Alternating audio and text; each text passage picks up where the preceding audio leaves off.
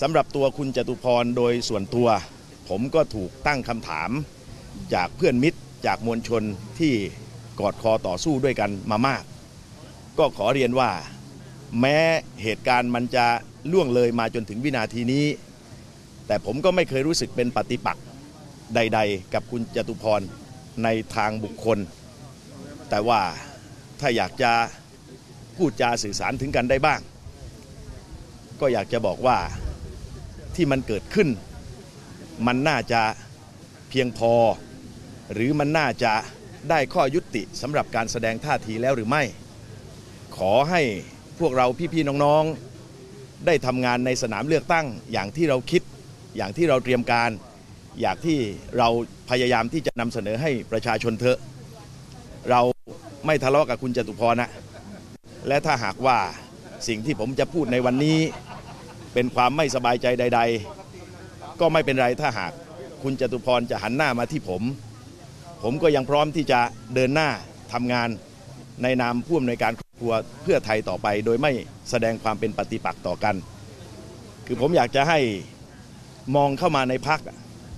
ในนี้มันพี่มันเพื่อนมันน้องทั้งนั้น แกนนำพักเพื่อไทย สมาชิกพักเพื่อไทยแม้กระทั่งเจ้าหน้าที่ ต่างๆ ทั้งหลายล้วนแล้วแต่เป็นพี่เป็นเพื่อนเป็นน้อง ที่เราเคยกอดคอ เคยยืนเคียงข้างกัน และวันนี้พวกเรากำลังทำงานหนัก เพื่อที่จะนำพาบ้านเมือง ให้มันรอดจากวิกฤตตลอด 8 ปีที่ผ่านมา ดังนั้นขอให้เราได้มีสมาธิในการทำหน้าที่นี้ เราต่างเคยยืนเคียงข้าง นายกทักษิณมาในสนามเลือกตั้ง แล้วเราก็ยืนเคียงข้างผู้นำของพรรคการเมืองนี้มาตลอด และวันนี้ผมก็มายืนเคียงข้าง คุณแพทองทาน หัวหน้าครอบครัวเพื่อไทย พี่ก็ทราบว่า น้องอิงมีหัวใจเป็นคนเสื้อแดง เธอเติบโตมากับการเห็นภาพการถูกกระทำของคนเสื้อแดง เธอหลั่งน้ำตาให้กับความสูญเสียกับความเจ็บปวดของคนเสื้อแดง เพราะฉะนั้น อยากให้พี่นึกถึงภาพวันแบบนั้น แล้วก็ให้น้องอิงได้ทำหน้าที่ อย่างที่ควรจะทำอย่างที่ประชาชนเขาตั้งความหวัง อย่างที่ประเทศไทยเขากำลังรอคอยโอกาส การออกมาแฉยัดหน้าไส้โดยหมดเปลือกของคุณจตุพรแบบนี้เนี่ยจะกระทบกับ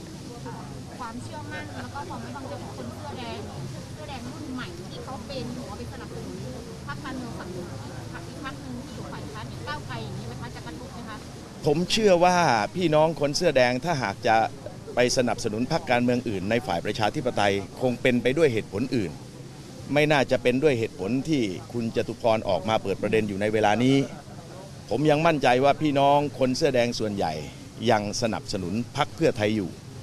จากการที่เราได้ทำงานในพื้นที่กันอย่างหนัก นอกเหนือจากเวทีที่ผมมาร่วมกับคณะใหญ่ ผมก็ลงพื้นที่พบปะพี่น้องเสื้อแดงในส่วนภูมิภาคอยู่ตลอดเวลา สองวันที่แล้วมาก่อนมานี่ก็ไปปักใต้ที่ชุมพรกับกระบี่ ผมเชื่อมั่นว่าพลังเหล่านั้นยังเคียงข้าง แล้วก็ยังพร้อมที่จะสู้ในสนามเลือกตั้งด้วยกันนะครับ ส่วนพี่น้องเสื้อแดงที่อาจจะไม่สมหวังกับการเสนอตัวเป็นตัวแทนของพรรคเพื่อไทย หรือมีความรู้สึกไม่พอใจกับการพิจารณาดังกล่าว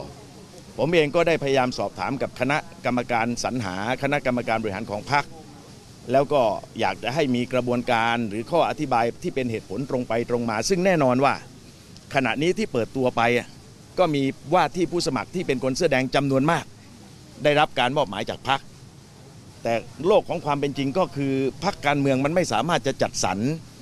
ตามความต้องการของคนกลุ่มใดกลุ่มหนึ่ง เป็นการเฉพาะได้เพียงอย่างเดียว ก็คงจะต้องมีเหตุปัจจัยในการพิจารณาหลาย ๆ ด้าน ผมก็เคารพการตัดสินใจนั้น แต่ว่าเราไม่เคยคิดทอดทิ้ง เราไม่เคยคิดทำลายน้ำใจ เราไม่เคยคิดจะทำให้มันเกิดความเสียหายทางความรู้สึกระหว่างกันเลย ก็หวังใจว่าเมื่อเข้าสู่สถานการณ์เลือกตั้งจริง ๆ หลังยุบสภา พี่น้องเสื้อแดงทั้งหลาย ก็จะได้ทบทวนวิธีคิด แล้วก็จับมือร่วมกันเหมือนเดิม คืออย่างที่คุณอิงบอกนะครับ ว่าการเลือกตั้งเป้าหมายแลนสไลด์ของพรรคเพื่อไทยเนี่ยมันไม่ได้มีเป้าหมายเกี่ยวโยงกับเรื่องเอานายกทักษิณกลับบ้านนะครับ มันเป็นคนละวาระคนละประเด็นกัน ตัวท่านพูดล่าสุดก็บอกว่าจะกลับหรือไม่กลับอย่างไรอยู่ที่หัวใจท่าน ไม่ได้อยู่ที่พักการเมืองไหนหรือกฎหมายฉบับใด ดังนั้นถ้าพูดกันให้ชัดอะภารกิจของพรรคเพื่อไทยที่จะแลนสไลด์ ไม่ใช่เอาทักษิณกลับบ้านฮะแต่จะเอาประยุทธ์กลับบ้าน เอาประวิทย์กลับบ้าน เอารัฐบาลสืบทอดอำนาจเผด็จการในกลับบ้าน แล้วนี่คือวิธีการเดียวที่จะส่งคนพวกนี้กลับบ้าน คือพรรคเพื่อไทยต้องแลนด์สไลด์จัดตั้งรัฐบาลฝ่ายประชาธิปไตยให้ได้ครับดูเหมือนคุณอิงเรื่องนี้คุณอิงดูสะเทือนใจกับเหตุการณ์ที่เกิดขึ้นกับที่คุณเต้นพูดเมื่อสักครู่นี้ดูเหมือนสะเทือนใจกับเรื่องราวในอดีตรับรู้ถึงความรู้สึกเรื่องคนแสดงเรื่องคนแสดงอ๋อแน่นอนค่ะ แน่นอนเพราะว่าเออยังไงเดียเราผ่านมาเยอะนะเรื่องคนเสื้อแดงอะไรอย่างเงี้ยค่ะ ซึ่งซึ่งอิงคิดว่า คือเราแน่นอนว่าถ้าถ้าถ้าคนเสื้อแดงยังยังสนับสนุนฝั่งประชาธิปไตย เราเคารพสิทธิอยู่แล้วนะคะเราเราเป็นบ้านเมืองของประชาธิปไตย เขาจะเลือกพรรคใดเนี่ยย่อมได้แต่เราก็เชื่อจริง ๆว่าเราอย่างอิงซึ่งเป็นเอ่อตอนนี้ก็เป็นคนนำมาหามาหาเสียงเนี่ยอิงก็คือคนเสื้อแดงคนหนึ่งนะคะแล้วก็เสื้อใช่มันมีความมันมีความสูญเสีย มันมีเหตุการณ์ที่ร้ายแรงที่เกิดขึ้น เหตุการณ์ที่คนรู้จัก คนที่ญาติของคนสนิทที่เสียชีวิตนะคะ เพราะฉะนั้นเนี่ยพูดกี่ทีก็สะเทือนใจนะคะแล้วสิ่งที่คุณจตุพรพูดถึงคุณพ่อคุณอิงจะพูดจะอ่าชี้แจงยังไงคะเนี่ยค่ะไม่มีอะไรให้ชี้แจงค่ะ ไม่มีอะไรให้ชี้แจง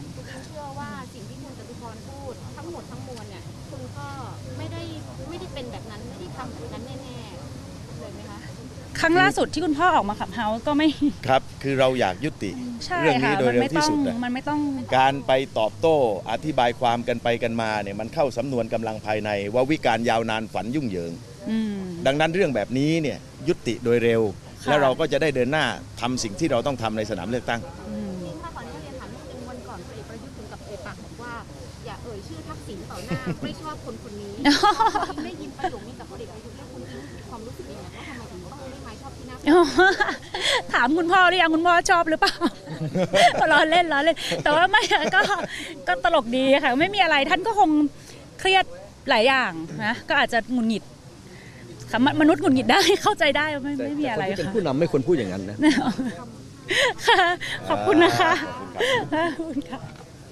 นักข่าวเราไปเวทีก่อนข่าวช่อง 8 ครบเครื่องเคียงข้าง